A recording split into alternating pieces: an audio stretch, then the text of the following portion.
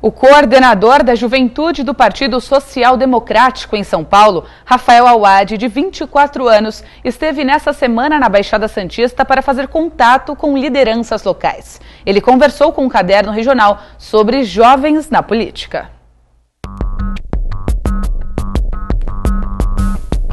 Eu comecei a me envolver com política através do movimento estudantil.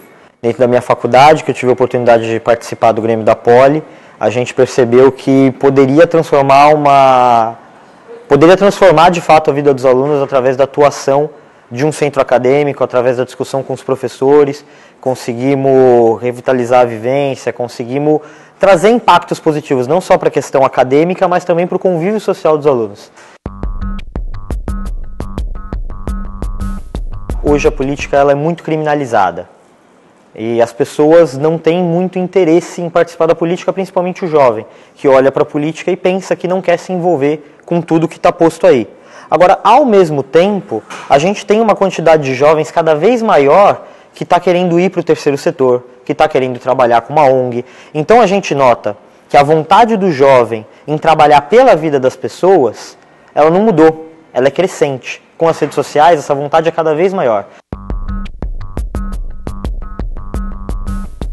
Tempo passar, são os jovens que vão acabar assumindo os espaços, não só na política, mas também nas suas famílias, nas suas empresas e em todos os âmbitos de convívio da sociedade. A juventude sempre carece, as pessoas falam que a juventude carece de oportunidade, que a juventude precisa participar mais, mas a verdade é que oportunidade e vontade andam lado a lado. E a gente precisa, no papel de jovem, de agente consciente do nosso impacto futuro na sociedade, ocupar esses espaços agora, por mais inglórios que sejam, e conseguir trabalhar para que no futuro é, a gente assuma as coisas um pouco melhor do que estão deixando para a gente. Existe um preconceito da população quando você vira, mesmo com seus amigos ou mesmo com a sua família, quando você não é do ramo, que você fala que de alguma forma você quer atuar com política, as pessoas te olham de uma maneira esquisita e pensam, tá, por que, que você vai querer se envolver com tudo isso que está aí? Mas aos poucos, quando a gente com boa vontade, boas intenções e com ações práticas vai conseguindo ter resultados positivos, sem ter que se envolver com nenhuma dessas coisas ruins que estão colocadas na política, os próprios familiares são os primeiros a perceber que o que você está fazendo, de fato, não só faz bem para você, mas faz bem para uma série de pessoas que estão em volta daquilo que é o centro da sua ação. Estamos buscando é, atuar em três eixos principais.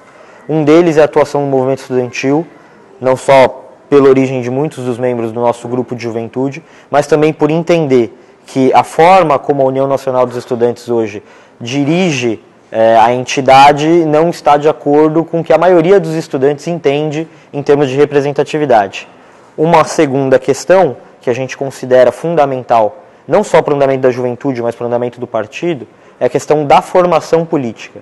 A gente tem no PSD a Fundação de Estudos Políticos, que é a Fundação Espaço Democrático que oferece uma série de cursos, palestras e seminários para que a pessoa possa se qualificar.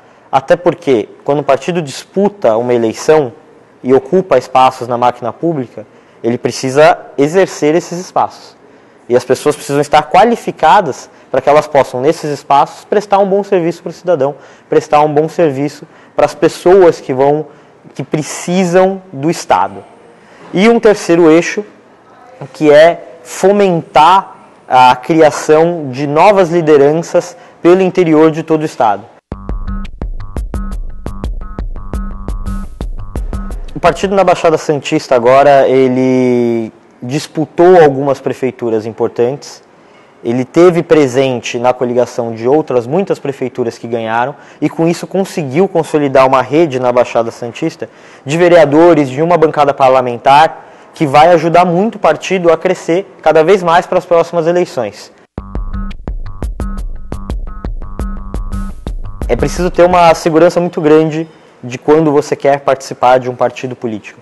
Então, atuar no micro, atuar na sua escola, na sua faculdade, no seu bairro, numa ONG, falar, enxergar gente que fala a mesma língua que você, que pensa a mesma coisa com você, com tolerância, e a partir daí começar a construir um grupo, desenvolver a sua vocação, acho que é a melhor dica possível que eu posso pensar baseado em tudo que eu já experimentei nessa vida.